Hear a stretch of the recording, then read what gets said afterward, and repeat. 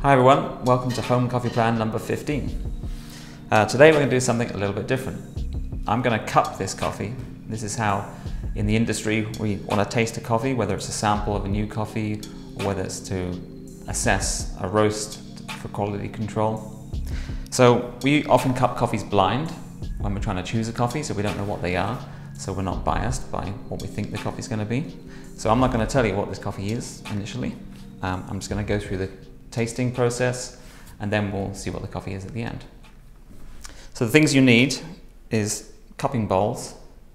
You can use any cup or glass as long as they're all the same size. Uh, these hold about 200 milliliters of water. You also need spoons. Um, we use a proper coffee cupping spoon, but you can use a soup spoon, anything that's deep enough to get a good amount of coffee in. And we have some bowls just to rinse the spoons in. I'll show you this later. Um, hot water, and if you want to write notes about the flavors and things, you need a pen and a cupping sheet. You can find some of these online. This one is from the SCA. I've weighed out 12 grams of whole bean coffee. And you've got to keep these all the same. So I've weighed these out accurately. And then we're going to grind them just before tasting. So we're going to grind these in a medium fine grind, uh, a little bit coarser than filter.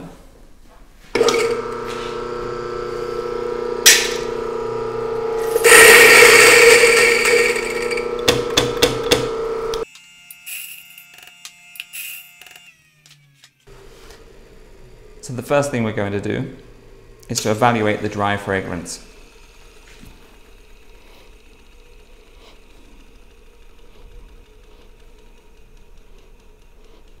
So I'm getting a good consistency between the three cups. And I get a really nice sweet fruity notes. There's like a ripe melon. There's some orange and chocolate. Maybe some grape. Okay, now I'm going to put some hot water on.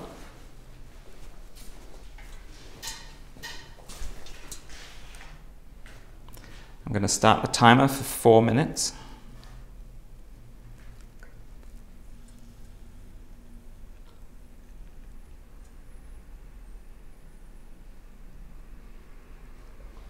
You want to fill the cups right to the top.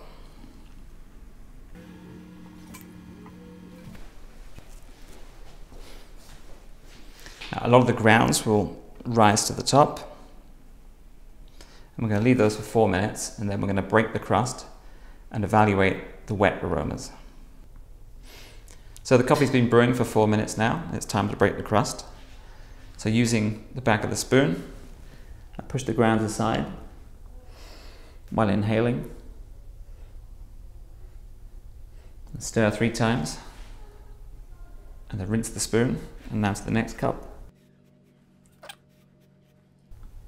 So I'm getting some of the same flavors, the aromas that I got from the dry fragrance, but maybe a little bit more sweeter, a bit more grape, chocolate.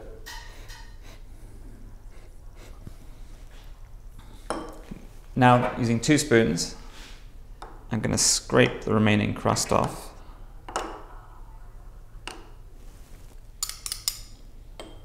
The majority of the grounds have sunk to the bottom.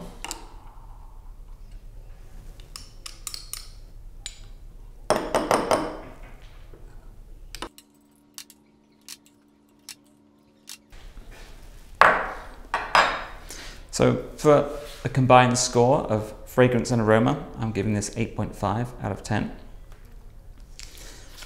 So the cupping sheet that I'm using from the SCA has 10 categories.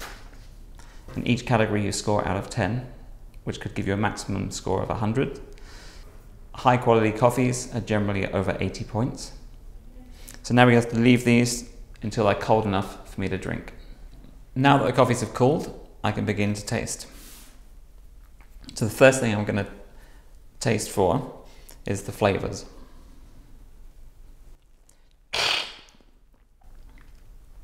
rinsing the spoon between each.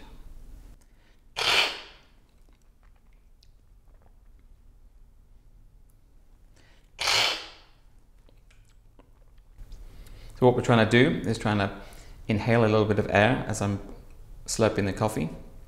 This gets it right into the back of your mouth, coats the tongue, and also retronasal, so you get the good aromas as well.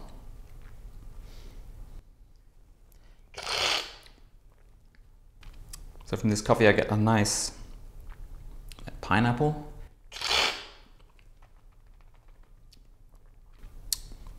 An orange.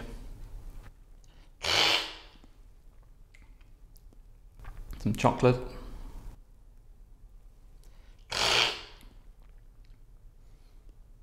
We've got that boozy alcoholic note as well from the fermentation.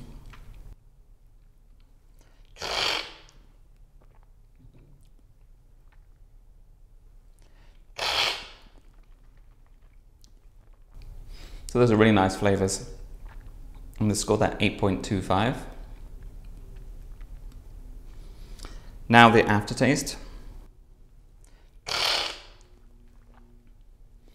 So this is what is left in your mouth once you've swallowed. Those lingering flavors that are left on your tongue and in your palate.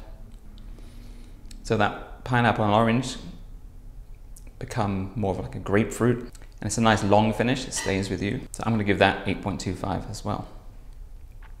Next, I'm gonna assess the acidity. So this is how bright the coffee is.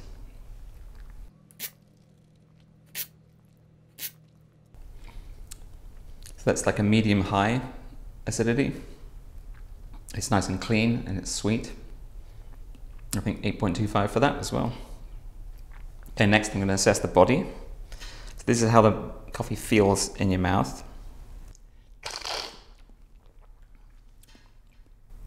So you can assess how heavy it is, if it's like like tea-like or if it's more syrupy. And also the quality, like how nice it feels in your mouth. So the body's quite heavy on this.